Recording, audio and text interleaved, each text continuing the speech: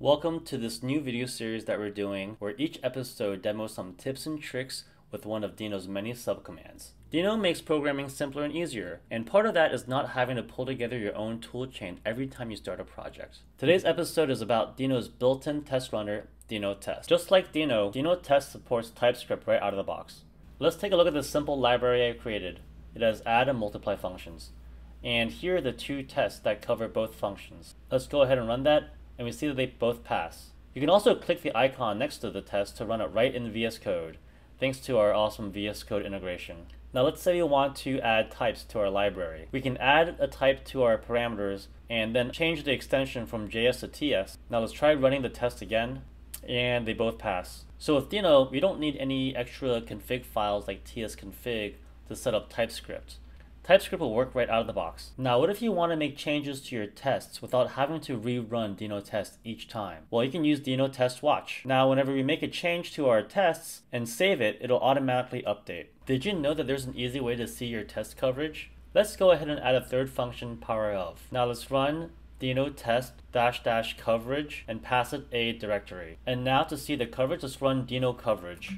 And here you can see that we are at 70% coverage and it'll even tell you which line and what function is not being covered by the tests. So with that in mind, let's go ahead and add a third test that will cover power of. And now you can see VS Code is letting us know that they don't recognize power of. And let's do a quick fix here, and VS Code will automatically update the import statement to include power of. Now let's rerun the test again. First, let's remove the coverage directory that was created, and then run deno test dash dash coverage pass it a directory. And finally, let's run deno coverage cov. And now you can see our coverage is up to 100%. Did you know that Deno test could also type check your documentation? This is important if you plan to distribute your library on NPM or other registries. Let's add a comment before power of. First, we'll include the import line, and then we'll include some examples. And let's throw in this example, power of 2 and the string Deno. And let's run Deno test dash dash doc. And you'll see that there's a type error because one of the argument is of type string, when it's looking for type number. Deno test doc is a great way to type check your documentation, which is great to do before you publish your code on NPM or other registries. There are other formats that Deno test can output test results. Maybe you want something minimalist, or maybe you want to output something to your CI tool. Here's the default output, which is called pretty. If you want something more minimal, let's try reporter equals dot. This is the dot output, and when a test fails, it looks like this. There's also the tap output. And finally, JUnit,